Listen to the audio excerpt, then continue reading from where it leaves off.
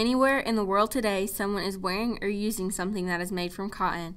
It is the most versatile resource used worldwide, and some of the very best cotton is grown in the mid south of the United States. At the center of that region is Memphis, Tennessee, home of the blues, Elvis, and home of the mid south's largest cotton exchange district for nearly 100 years.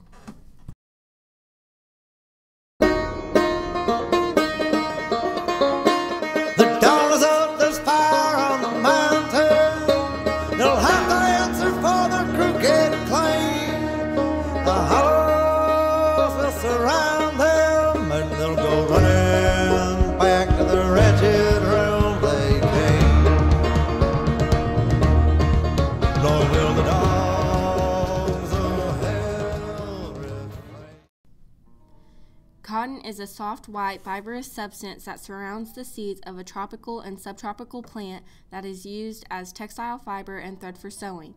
The seeds are planted in spring and they grow into green, bushy shrubs about a meter in height. The plants briefly grow pink and cream colored flowers that, once pollinated, drop off and are replaced with cotton bolls. Cotton used to be picked by hand. Everyone in the family was required to help. Newly picked cotton was stuffed into nine foot sacks that could weigh up to 30 pounds.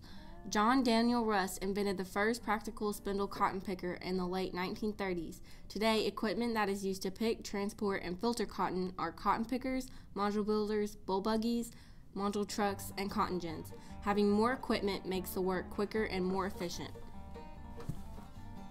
Memphis was founded in 1812 on the Mississippi River's Fourth Chickasaw Bluff as a shipping port for both cotton and the African slaves whose hard labor was the foundation of the Southern economy.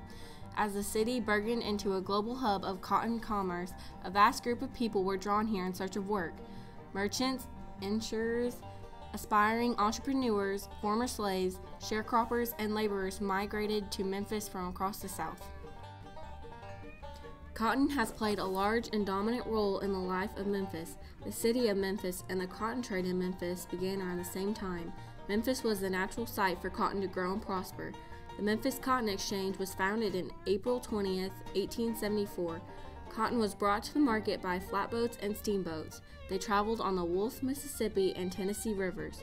The levee and ox carts were used to unload the cotton that came by riverboat.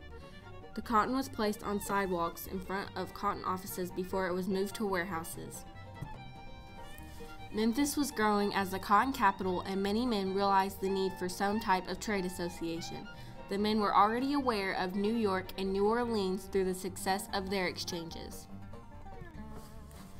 The Memphis Cotton Exchange was mostly interested in advancing cotton and trading it. The exchange membership included most of the important men in the city. The first designated president of the Memphis Cotton Exchange was W.B. Galbraith. The city's dilemmas were discussed in the exchange's meetings and they took part in charity drives frequently. Memphis was the largest inland cotton market in either America or Europe. Victor Cuneo started working as a marker on the Cotton Exchange's blackboard in 1927. Blackboards are used to post the quotations of all the future markets, current spot prices, ginnings, acreage, consumption, and any statistic necessary to the conduct of the cotton industry. Cuneo left the Merchants Exchange and came to the Cotton Exchange. At that time, he was one of four markers employed.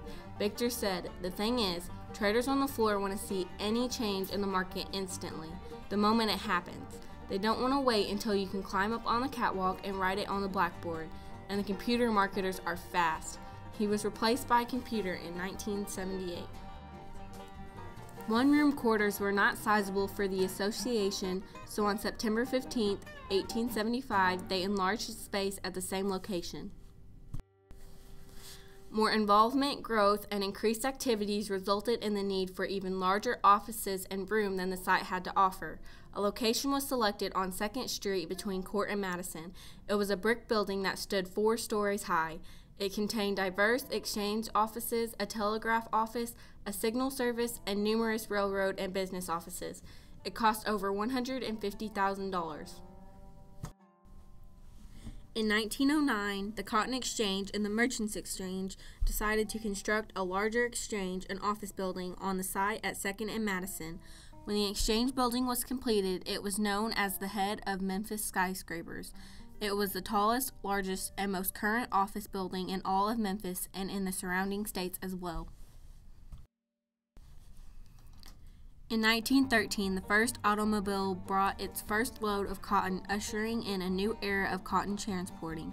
With railroads and new automobiles, the mighty Mississippi wasn't as important as it once had been, but luckily for the exchange, Memphis was still located in a good location for future roads that would converge on the city. In 1919, it became noticeable that the building at Madison and Second was far too distant from the center of cotton activity. The exchange moved to temporary quarters at 66 South Front. They dived into the search for a new location. They picked a $140,000 building at Front Street and Union Avenue. The floor of the exchange is a high ceilinged room with large windows that can be opened to look at both Front Street and Union Avenue. The other walls are covered with boards that are used to post the quotations of all the future markets, current spot prices, ginnings, acres, consumption, and any statistic necessary to the conduct of the cotton industry. On the upper floors, there are office and sample rooms. The Front Street location had oversized skylights inserted into the ceiling of its top floor at various angles to admit the sun's brightest rays at different times of the day. Later, the government recommended they be set at 23 degrees north for the truest light.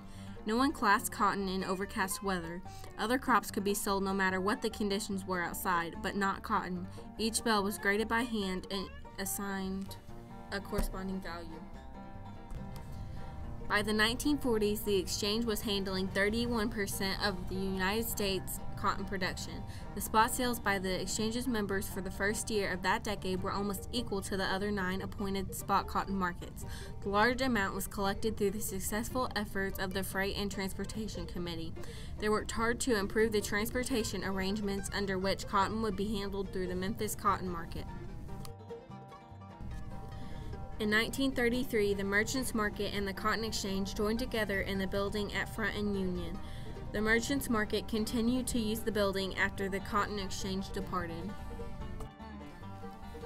In 1950, due to orders being unacceptable, all exchanges instantly closed and the Cotton Exchange was disabled. On March 8th, the exchanges propelled and business resumed. 1959 was the year that the government began the A and B program. The exchange was responsible for ensuring various requirements and obligations that needed to be met. Old things have been replaced by new things. Adding machines and manual typewriters were upgraded to electronic calculators and listening machines. Many improvements were made, and many more are yet to come. Nearly 150 years later, only a few rundown buildings remain of the Memphis Cotton Exchange. On one there is a marker that reads, There are hearts as soft as fluff, that assume a manner gruff just to hide their real fine stuff on Front Street.